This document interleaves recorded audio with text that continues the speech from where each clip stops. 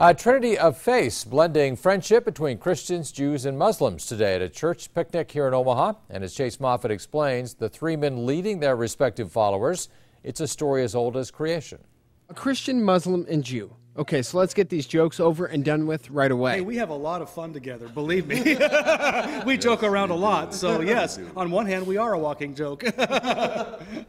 at this moment we're sitting. So. That's right. In fact, it's the vision of these three men to bring together three faiths, which history has said otherwise hasn't gotten along so well together so far. We live in particularly dangerous times where we've democratized the instruments of mass destruction and get more ever more artful about the ways of killing each other every day.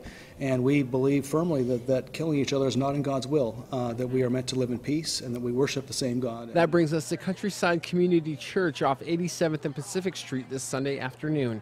The hall is jam packed with people lined up for an equally massive amount of food. Sitting at the tables, Christians, Jews, and Muslims just talking.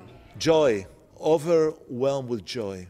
Yeah. To see people having such a uh, wonderful time and then going into conversations. I would love to be like a fly to listen to every conversation around every table.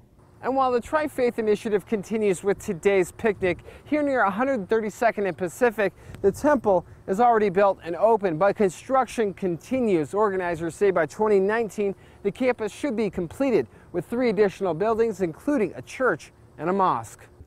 Ayah in the Holy Book Quran said that God created you so you get to know each other. And so these three men representing three faiths, three groups of followers, but with one belief. Together, we are all God's, Allah's, and Yahweh's children, and loved by Him. In Omaha with photographer Dustin Dales, I'm Chase Moffitt, WOWT 6 News. This is the first year Countryside Church hosted the event at their building, and they also recently voted to become the Christian partner of the Tri Faith Initiative earlier this year.